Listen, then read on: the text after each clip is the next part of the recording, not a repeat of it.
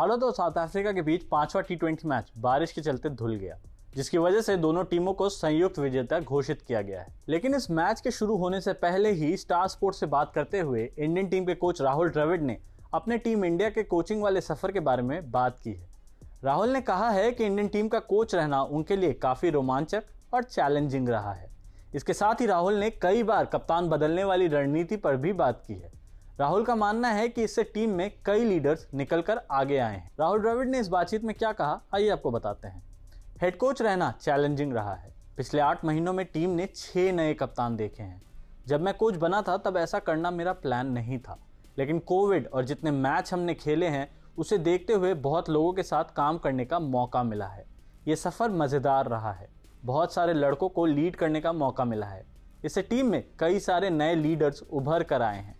हमने बेहतर होने की कोशिश की है। बहुत सारे लोगों को ट्राई भी किया है। राहुल ने इसके आगे कहा, साउथ अफ्रीका में टेस्ट सीरीज़ कठिन थी। हमने टी ट्वेंटी और वनडे में अच्छा प्रदर्शन किया है। ये टीम के कैरेक्टर को दर्शाता है। जो फास्ट बॉलिंग टैलेंट हमने आईपीएल के दौरान देखने को मिला, वो कमाल का है। कई युवा प्लेयर्स को अपनी प्रतिभा दिखाने का मौका मिला। कुछ ने अच्छा प्रदर्शन भी किया। ये इंडियन क्रिकेट के लिए अच्छे साइंस हैं।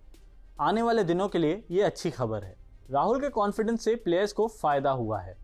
आवेश खान और दिनेश कार्तिक ने चौथे टी के बाद द्रविड की तारीफ़ की थी। द्रविड के अलावा युजवेंद्र चहल ने भी स्टार स्पोर्ट से बात की।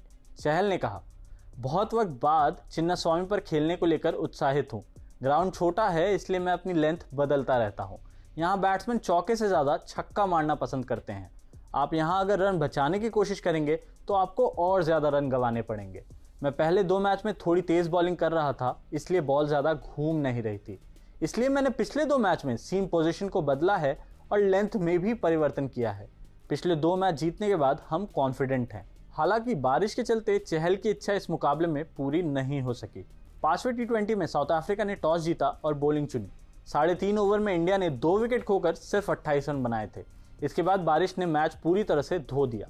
आखिर में दोनों टीम्स ने सीरीज़ में दो दो मैच जीत कर ट्रॉफी शेयर कर ली है। क्रिकेट और बाकी स्पोर्ट्स से जुड़ी सारी खबरों को देखने के लिए आप ललन टॉप स्पोर्ट्स के यूट्यूब चैनल को भी सब्सक्राइब कर सकते हैं। बाकी देश और दुनिया की सारी खबरों को देखने के लिए देखते रहिए दी ललन टॉप। शुक्रिया। दी लल्लन टॉप मतलब आपकी खबरें पढ़ने का एक्सपीरियंस बदलने वाली वेबसाइट यूट्यूब और फेसबुक पर भौकाल काटने के बाद अब बारी है ऐप की।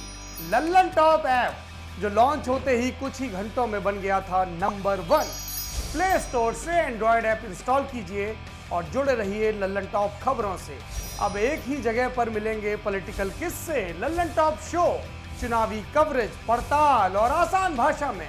पाइए लल्लन टॉप की वीडियो सबसे पहले फेसबुक और यूट्यूब से भी पहले।